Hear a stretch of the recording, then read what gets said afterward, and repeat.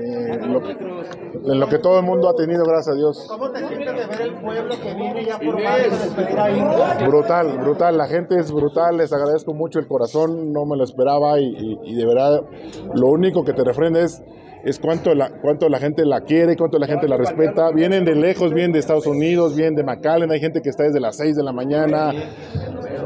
Híjole, es brutal, es brutal. ¿Tú qué es lo que va a pasar al final del día con este teatro que es? Pues sigue funcionando, es un teatro, tiene que seguir funcionando y es lo que ella siempre quiso. Es, es, el, es el tesoro más grande que ella ha tenido.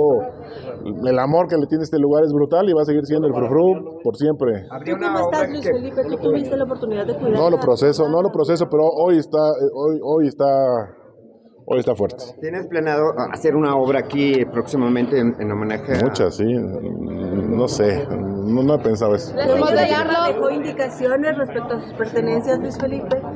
Digo, hay un, si hablas de testamentos, hay un testamento. Digo, no, no, no sé algo más. Este, el teatro sigue siendo teatro. Este, no, no, no sé qué más comentarte de esa parte. Oye, ¿qué va a pasar con todas las cosas, las obras que la señora? Híjole, es brutal. O sea, nací aquí, yo nací aquí, en el departamento 24 de aquí arriba. Mi papá administraba el teatro hace 42 años.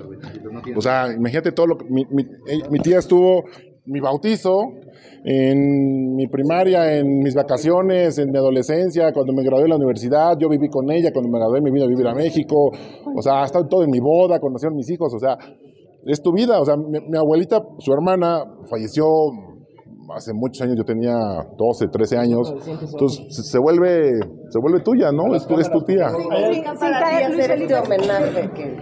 No, hacemos por acá. Signifi- significa, perdón, significa todo, o sea, yo le estoy entregando el corazón acá y, y ustedes lo están haciendo más grande, el corazón que yo le puedo dar es grande, pero ustedes lo hacen más grande, la gente que está allá afuera, que ahorita salí a, a saludarlos, agradecerles que están en el sol, qué bárbaros, o sea, es, eh, los mensajes, las llamadas, las anécdotas, híjole, te pone la piel chinita y, y te agradece.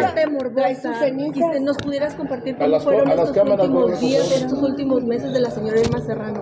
Como siempre, lo contesté hace un ratito, ella siempre fue feliz, siempre fue pícara, siempre fue...